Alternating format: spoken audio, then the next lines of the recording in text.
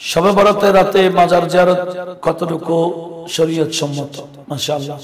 আমাদের দেশে সবে বরাতের মধ্যে বিভিন্ন ভাইরা মাজার জিয়ারত, এত ব্যাপক জিয়ারত করে মাজারের ভিতরে যাওয়া সম্ভব হয় না। আসলে এটা সরাসরি হুজুর পাক সাল্লাল্লাহু হাদিসে পাক আছে। যে হাদিস কানা আয়েশা সিদ্দিকা রাদিয়াল্লাহু তাআলা আনহা থেকে বর্ণিত যে হুজুর করিম সাল্লাল্লাহু ওই রাতে লাইলাতুল জান্নাতুল বাকিতে, অর্থাৎ হুজুর পাক সাল্লাল্লাহু রওজা শরীফের পূর্ব পাশে যে কবরস্থান, ওটাকে জান্নাতুল বাকি বলা হয়, অনেক বড় কবরস্থান। সেই কবরস্থানে নবীজিকে জিয়ারত করেছেন তাহলে আমাদের কাছে স্পষ্ট হয়ে গেছে, বরাতের রাতে জিয়ারত করা এটা সরাসরি হুজুর করিম সাল্লাহ সাল্লামের আমল। সেজন্য আমি আপনাদের কাছে একটা ফতোয়া শোনাতে চাই যেটা আলমগীরের মধ্যে একটা রয়েছে। ফতোয়ায় আলমগীরের মধ্যে সেখানে এবারত রয়েছে যেটাকে ফতোয়া আল ফতোয়া হিন্দিয়া বলা হয়।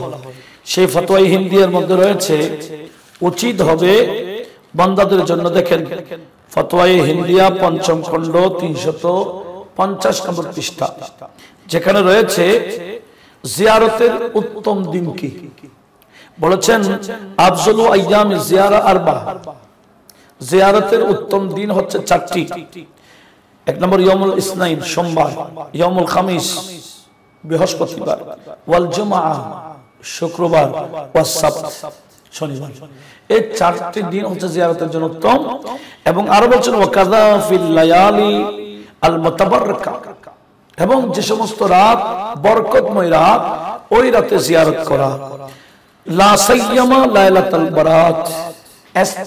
ফতোয়া বিশেষ করে বারাতে জিয়ারত করা। তাহলে কি বুঝলাম? বারাতে জিয়ারত করে আমাদেরকে শিক্ষা দিয়েছেন এবং ওলামাই কারাম পাঁচশো বড় বড় আলেম মিলে ফতোয়াটা লিখেছেন। বাদশাহ আলমগীরের তত্ত্বাবধানে।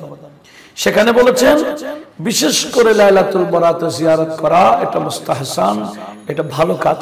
তবে আমি একটা আপনাদের কাছে অনুরোধ জানাব। আমাদের দেশে বিভিন্ন বাইরা গাড়ি ঠিক করে। মাজার শুধু জিয়ারত করে করে গোটা রাত কাটায় দেয়। কি হয় জানেন? এক মাজার থেকে অন্য মাজার বিশ তিরিশ মাইল দূর।